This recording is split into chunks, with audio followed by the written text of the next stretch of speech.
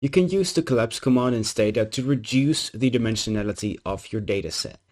And this command is particularly useful if you have data that is multidimensional, say multiple products by firm, or multiple stocks into a mutual fund, multiple properties into a REIT. There are many different dimensions that you might want to smooth out at some point in time. And today I'll tell you how to do this effectively in Stata. So if you head over to the usual auto file, you want to collapse this information for two types of observations, domestic cars and foreign cars. And you just like to get the average of most of the variables, the means of some others, then the added values of variables, and the first observations. You can do that using the collapse commands.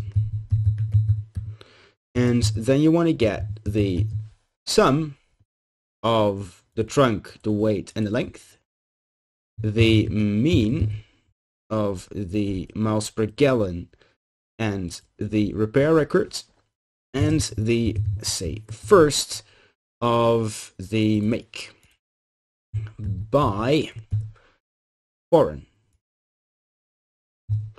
Now as you can see I'm using collapse space the operation that I'd like to take say sum which adds up all of the variables or the mean of everything that comes after that, these two variables, or the first observation of the make. Note that make is a string variable, so you cannot use a mean or a sum because it's not a number.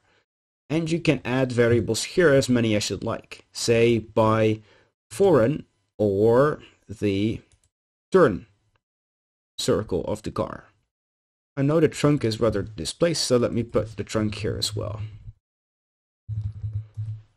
And now you have your, combined data set. So by the trunk and the domestic, I have a summed observation of all of these items.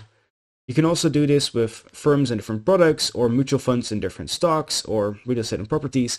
There are many different ways how you can then reduce the dimensionality of your data set. And it's really useful this way. Now, uh, one of the things that I'd like to notice is that you can also just use one item or multiple items as many as you'd like. And there are multiple things that are in addition to the first one. You can do that by simply pressing the help collapse command. And here you see all of the items that you can possibly do with that. But I just mentioned a couple of the most commonly used ones. So, now thank you so much for listening. I hope you enjoyed this video. If you like it, give it a thumbs up and until the next tutorial.